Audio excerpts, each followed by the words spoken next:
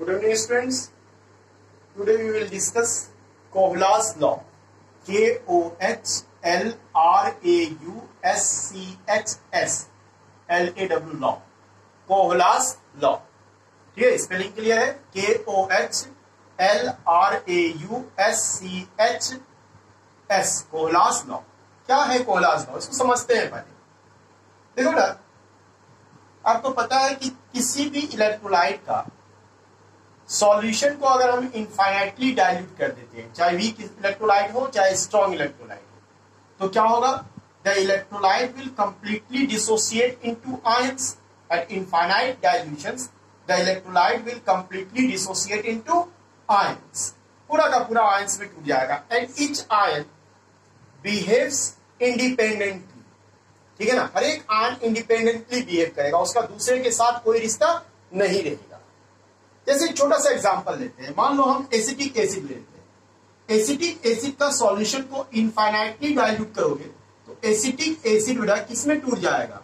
पूरा का पूरा टूट जाएगा एसिटेट आयन में और एच प्लस आयन में। गुड ठीक है? एसिटिक एसिड किसमें टूट जाएगा? एसिटेट आयन और एच प्लस आयन में। ठीक है? तो इसी तरह से अगर आप फॉर्मिक एसिड ले लेते हो H C O O H इसको अगर कंप्लीटली इसको अगर इनफाइनेटली डाइल्यूट करो, इसका सॉल्यूशन को तो ये किसमें टूटेगा? H C O O minus ion और एच प्लस आयन. ठीक है? अगर इसी तरह से हम एच सी एल ले लें, इसका सॉल्यूशन को इनफाइनेटली डाइल्यूट करें, ये किसमें टूटेगा बेटा? एच प्लस आयन और सी एल माइनस आयन. तो यहाँ पे बोलता क्या है? कि H प्लस आयन का कॉन्ट्रीब्यूशन जितना होगा towards the molar conductivity of acetic acid किसमें? एसिटिक एसिड में। H प्लस आयन का कॉन्ट्रीब्यूशन यहाँ जितना होगा, उतना ही H प्लस आयन का कॉन्ट्रीब्यूशन यहाँ भी होगा, यहाँ भी उतना ही H प्लस आयन का कॉन्ट्रीब्यूशन होगा। मतलब क्या होगा? जैसे हम लोग जब सॉल्यूशन को इनफाइनाइटली डाइल्यूट कर देते हैं, तब उस समय जो मोलर कंडक्टिविटी होता है, उसको क्या बोलते हैं? लिमिटिंग मोलर कंडक्टिविटी तो limiting molar conductivity of acetic acid क्या हो जाएगा? Limiting molar conductivity of acetic acid हो जाएगा। यहाँ से lambda M naught acetic acid C S three C O H equal to क्या होगा? Lambda naught C S three C O O minus ion plus lambda naught H plus देखो ना, इसको क्या बोल? रहे हैं limiting molar conductivity of acetic acid या molar conductivity of acetic acid at infinite dilution lambda naught C S three C minus ion ये क्या हुआ? इसको बोलते हैं limiting molar conductivity of acetate ion at infinite dilution इसको हम लोग लिमिटिंग आयोनिक कंडक्टिविटी भी बोल सकते हैं, क्योंकि आयंस का इसको भी हम लोग क्या बोल सकते हैं? Limiting ionic conductivity of H plus ion तो limiting molar conductivity of acetic acid equal to क्या हो रहा है? Limiting ionic conductivity of C S three C minus ion और limiting ionic conductivity of H plus ion इसी तरह से अगर हम फॉर्मिक एसिड का केस लेते हैं तो limiting molar conductivity of formic acid equal to क्या होगा? Limiting ionic conductivity of H C O O minus ion plus limiting ionic conductivity of H plus Kohlrausch law क्या बोलता है? कि ये जो lambda naught H plus ion है, इसका वैल्यू यहाँ पे जितना होगा सेम वैल्यू यहाँ पे भी होगा। ये वैल्यू चेंज नहीं होगा। अगर हम एस भी लेते तो lambda M naught H C L equal to क्या होता है बेटा? Lambda naught H plus ion plus lambda naught C L minus ion ये होता है ना? तो यहाँ भी lambda naught H plus ion का वैल्यू सेम होता है। मतलब ये तीनों केस में lambda naught H plus ion का वैल्यू चेंज नहीं होगा। ठीक है ना? या हम मान लो ले लेते हैं सोडियम क्लोराइड का सॉल्यूशन तो lambda M naught N A C L infinitely dilute solution ले लेते इक्वल टू क्या होगा? Lambda naught N A plus ion और lambda naught C L minus ion तो पोलास लॉ बोलता है कि इसका वैल्यू जितना यहाँ पे होगा, उतना ही वैल्यू यहाँ पे भी होगा। अगर इसका वैल्यू यहाँ वाई है तो यहाँ भी क्या होगा? वाई होगा। ठीक है? ना एच प्लस आयन का value, lambda naught H plus ion यहाँ एक्स है तो यहाँ भी एक्स होगा, यहाँ भी एक्स होगा।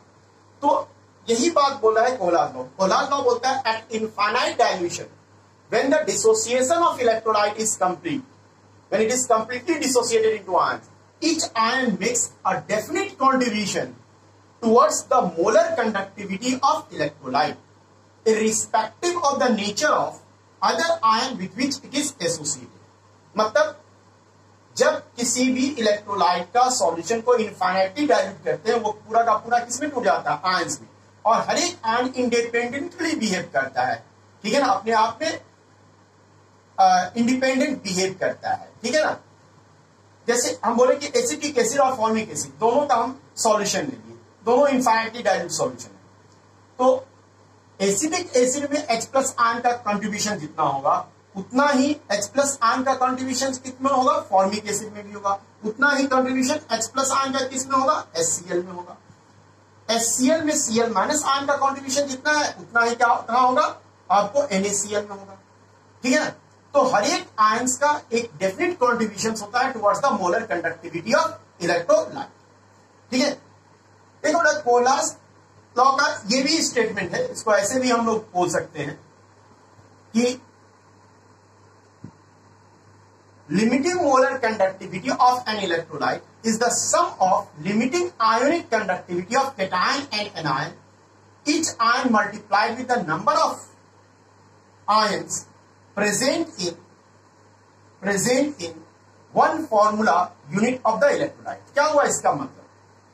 बोलता है कि मान लो कोई इलेक्ट्रोलाइट है, जैसे ए एक्स बी वाई एक इलेक्ट्रोलाइट स्ट्रॉन्ग हो चाहे B A X B Y इसका सॉल्यूशन को इनफाइनाइटली डायल्यूट ये किसमें टूट जाएगा?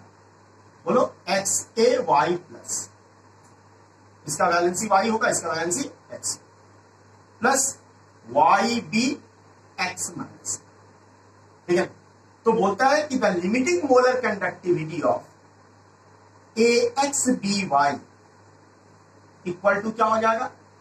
X into limiting ionic conductivity of Y plus plus limiting ionic conductivity of sorry A Y plus B X ठीक है? और इसको हम लोग मल्टीप्लाई कर दिए एक्स से, इसको किससे मल्टीप्लाई करेंगे? वाई से। यही हो जाएगा। ठीक है? जैसे एक और एग्जांपल ले, जैसे एल्युमिनियम सल्फेट को ले लेते हैं। L two S O four whole three इसका सॉल्यूशन को इनफाइनाइटली डायल्यूट कर दो ये किसमें टूट जाएगा? Two A L three plus ion plus three S O four two minus ion यहाँ पे lambda M naught Al2SO4 whole three equal to क्या होगा? Two into lambda naught A L three plus ion plus three into lambda naught S O four two minus मतलब limiting molar conductivity of aluminium sulphate equal to क्या हो जाएगा two into ionic conductivity of L three plus R plus three into ionic conductivity of SO four two minus R तो limiting molar conductivity of an electrolyte इसको भी हम लोग ये भी स्टेटमेंट लिख सकते हैं पोलार लॉ में limiting molar conductivity of an electrolyte is sum of the limiting ionic conductivities of cation and anion each ion multiplied with the number of ions present in one formula unit of the electrolyte. मेरे ख्याल से ये दोनों statement आपको समझ में आ रहा होगा। इसी तरह से हम एक और ले लेते हैं मान लो एग्ज़ाम्पल हम लेते हैं सोडियम सल्फेट Na2SO इसको भी सॉल्यूशन को अगर इनफाइनेटली डायल्यूट करोगे, ये पूरा का पूरा किसमें टूट जाएगा? Two N A plus ion plus S O four two minus ion तो limiting molar conductivity of N A two S O four equal to क्या होगा? Two into limiting ionic conductivity of N A plus ion plus limiting ionic conductivity of S O four two minus जरा सा ध्यान देना। यहाँ पे अगर lambda naught S O four two minus ion का जो वैल्यू होगा, यहाँ पे भी वही वैल्यू होगा। ठीक है? यहाँ पे भी वही वैल्यू होगा। ठीक है? इसी तरह से, मान लो हम ले लेते हैं lambda M naught for sodium acetate C S three C O O N to क्या हो जाएगा ये? सी एस थ्री सी ओ ओ यानी कैसे टूटेगा? C S three C O O minus ion plus N plus ion तो lambda naught C S three C O O minus ion plus lambda naught N A plus ion यहाँ पे इसका value जितना होगा, इसका वैल्यू भी उतना ही ठीक है? इसी तरह से मान लो हम ले लेते हैं लेमडा एम नॉट एक और एग्जांपल ले लेते हैं हम लोग। ले लेते हैं A L C L aluminium chloride का सॉल्यूशन लेते हैं, उसको इनफाइनाइटली डाइल्यूट करते हैं। A L C L three किसमें टूटेगा बेटा? एल थ्री कैसे टूटता है? A L three plus ion plus three C L minus ion तो ये क्या हो जाएगा?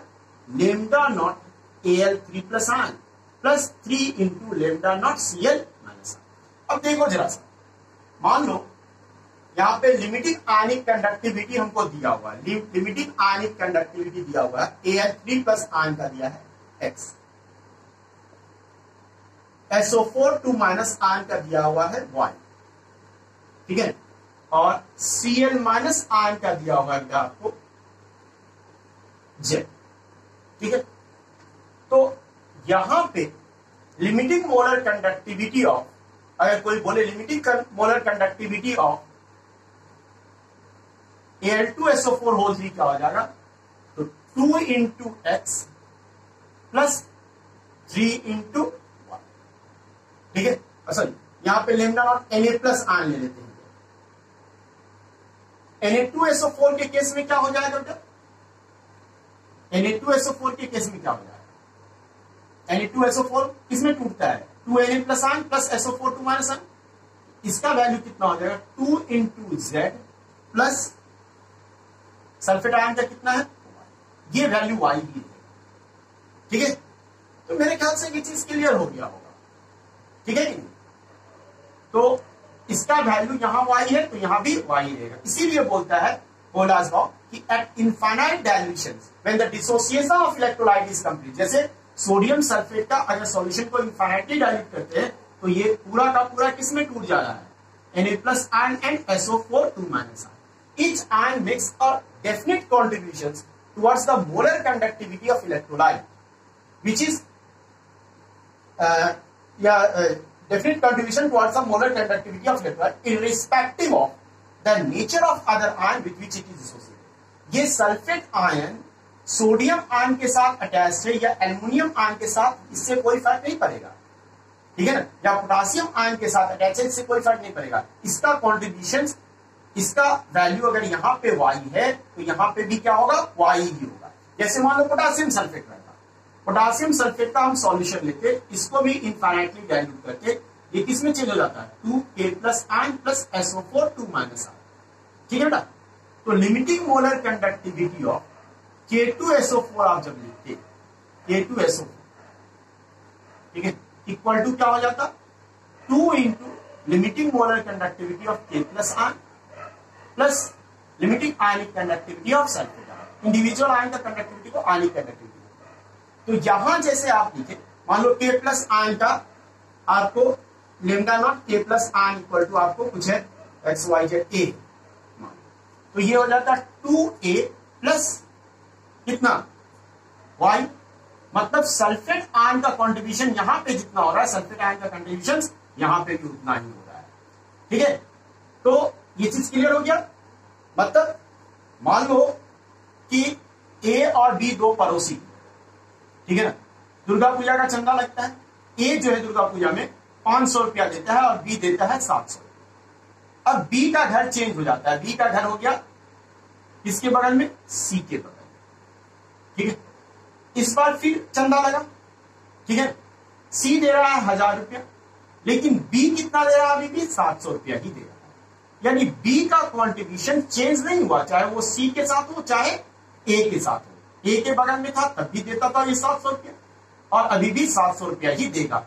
बगल वाले के कॉन्ट्रीब्यूशन पे नहीं डिपेंड करेगा। इसलिए सल्फेट आयन का कॉन्ट्रीब्यूशन जितना Na2SO4 में होगा, उतना ही K2SO4 में होगा। उसका ionic conductivity limiting ionic conductivity जितना Na2SO4 में होगा, उतना ही आपको K2SO4 में होगा। मेरे ख्याल से ये क्लियर हो गया होगा। Thank you